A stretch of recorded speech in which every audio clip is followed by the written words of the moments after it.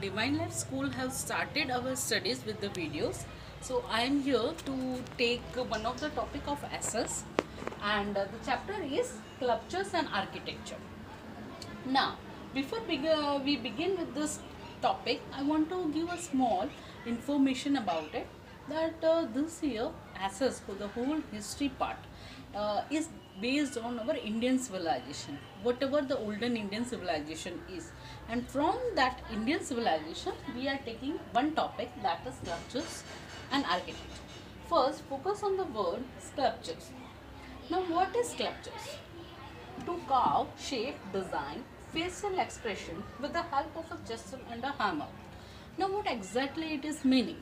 It means that you are carving something. It may be a facial expression, it may be a doll, it may be an idol, something which you have carved out of a wood, a stone, or something like that.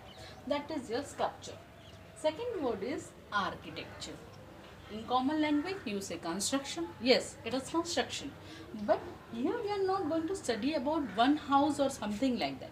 We are going to study about the whole town, a well, a fort, and etc.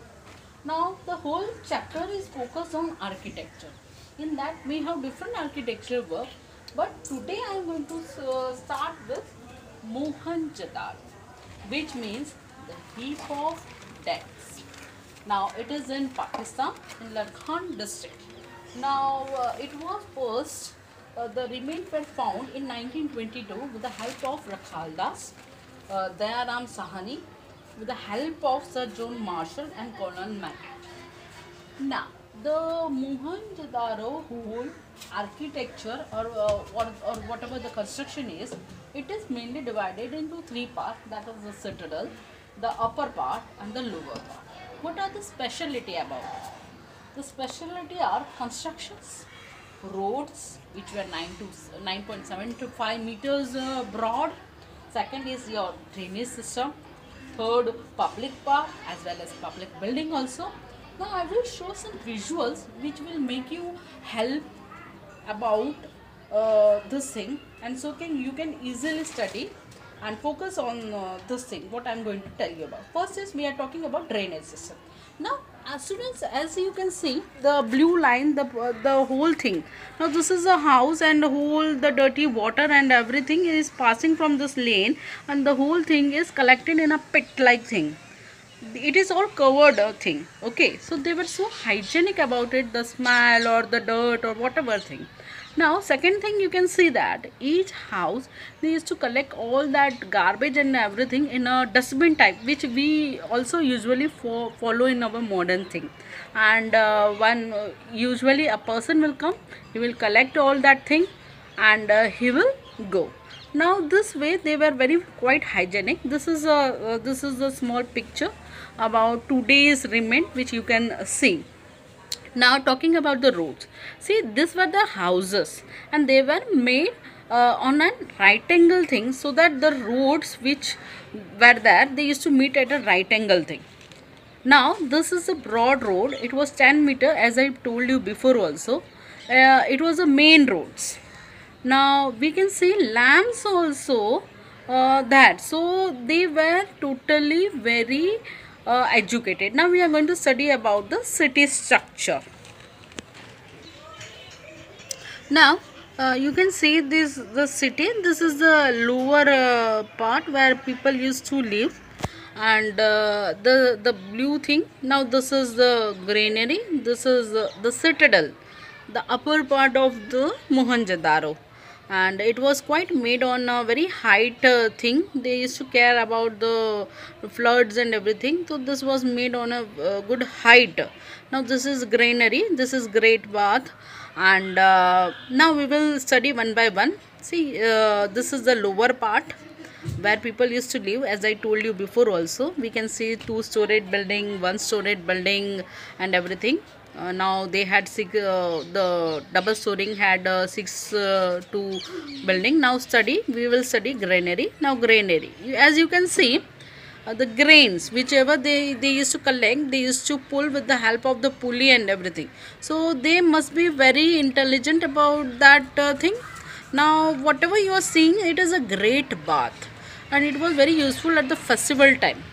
As you can see this great bath uh, it ha- it was quite big one and uh, there were different changing rooms it was 7 meter, meter uh, to, by, by 12 meter 3 meter deep and it has two entrance. Uh, now whatever you are th- seeing the things no this side the open thing they were rooms. These were public buildings also uh, in which it helped them to change and uh, leave and everything. So this was a quite thing. Now the water used to come from this well which was filled from the thing. And this is the whole drain where the dirty water used to collect. And it used to pass from this thing. And uh, it used to collect uh, uh, at the end of the thing now these were the roads which i told you first in the beginning also. It was 10 meter wide and it was very broad and everything. At least 2 to 3 bus could pass. And the houses were in a, made in a such a way that you cannot see inside. It uh, didn't uh, give the look what uh, was there inside the uh, houses. So the uh, construction wise it was quite uh, a very great thing sum up the whole topic. So we are going to focus on the three things. The citadel which was on a height. And uh, the rich people the kings or whoever then they used to live in a very heightful thing. The granary and all these things were so that they can keep a watch on the whole society and everything. After then comes the upper part. That is that was near the citadel uh, the rich people used to live and they had two storied uh, houses in which they had uh, five to six uh, rooms and thing the last was the lower part in which the poor people used to live.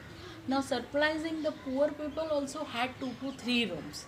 And it was quite big. They had a kitchen they had drawing room they had toilets and everything. So they were quite intelligent as well as very uh, uh, had a very good construction and architectural uh, they had a very good town planning we can say. Now uh, lastly i told you about the roads after that the drainage the public bath and the last is the public building. Now this public building was for the soldiers also and uh, uh, when there were fair or something like that it was turned into for, for the people also so that they can live there uh, they can stay there. Okay now uh, this is the whole mohenjo-daro what why uh, the main thing is that this is not the whole construction is not we are not talking about today we are talking about back back 5000 years.